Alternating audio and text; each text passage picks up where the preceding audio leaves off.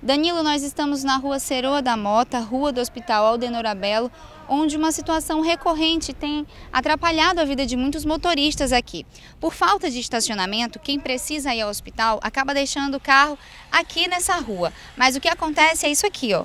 Nós temos aqui a marca dos carros que foram removidos. Apenas hoje pela manhã, três carros foram guinchados e a reclamação de quem precisa atendimento aqui no hospital é muito grande. Nós conversamos com um guardador de carros aqui que não quer ser identificado, mas presencia constantemente a reação dos motoristas por conta dessa situação. Muitas das vezes saem chorando. Saem chorando porque você sabe, não é, não é fácil você estar tá com um paciente no tratamento oncológico, aí vem para cá para estacionar seu carro, o hospital não oferece estacionamento, vem para estacionar, não tem. Quando chega, seu carro está lá para CMTT. Aí você já está tendo gasto com medicamento, tem todo o sofrimento da doença, né? Aí ainda tem o seu carro removido. Nós também conversamos com motoristas que têm vendas de lanches aqui do outro lado da rua. Nós, como podemos ver aqui, os carros eles ficam estacionados. Também existe uma reclamação sobre o posicionamento desses carros, mas desse lado direito eles não são guinchados, porém não tem espaço para todo mundo.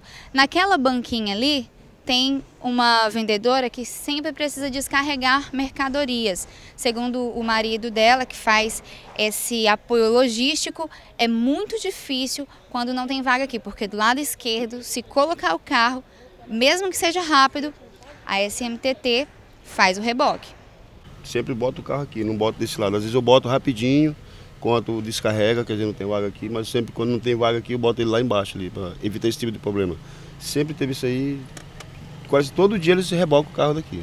Nós estamos com uma motorista que precisou retirar o carro aqui às pressas antes dele ser rebocado. Como que é essa situação quando você precisa vir aqui ao hospital? É difícil, é constrangedor. Meu nome é Elisângela, eu faço tratamento aqui há muitos anos, desde 2013. Hoje tive que tirar meu carro às pressas. Já deixei antes ali, já tive vários problemas. Inclusive, no ano passado foi arrombado, assaltaram, levaram minhas coisas, inclusive minha bolsa, tudo que tinha dentro. Entendeu? É muito difícil para a gente que chega aqui, quer estacionar e não pode, não tem lugar. E quando pensa que não está lá dentro do hospital, chega aqui, eles estão aqui. Quando não estão mutando, estão rebocando, estão levando. Foi o que aconteceu comigo hoje. Essas são as informações. Eu volto com você, Danilo Quixaba.